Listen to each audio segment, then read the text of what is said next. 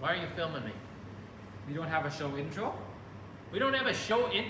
We got a show to do. We need a show intro. Come on, chop chop, people. Let's make a show intro.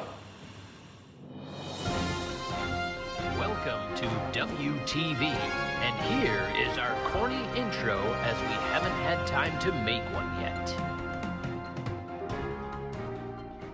It's a great day at TCS. Welcome to the Wednesday show. I'm Noi Noi along with Pun Pun.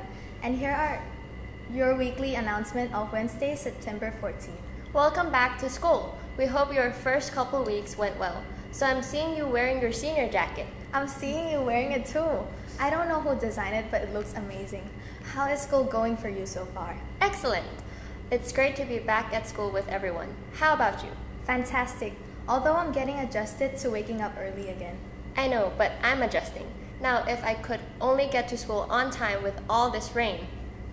Which reminds me, if you show up to school late, make sure to stop in the front office before going to class. Teachers are required to take attendance early and you will be marked absent for the day if you don't check in at the front office if you arrive after 4 7:40 a.m. Sports practices will start next Tuesday. You must sign up by Thursday night if you want to participate the first week. Sign-ups will continue throughout the year, so if you miss the first practice, no worries. Get signed up for the next week.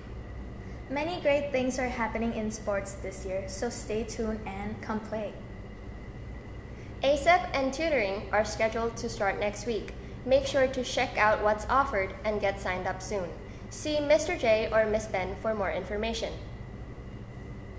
Students, just a reminder to keep the TCS dress code policy in mind.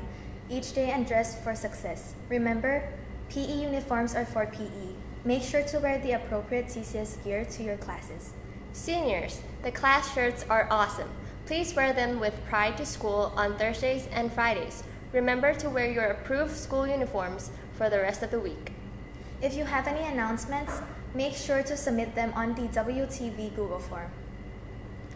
That's all the announcements for today. See you next week on WTV.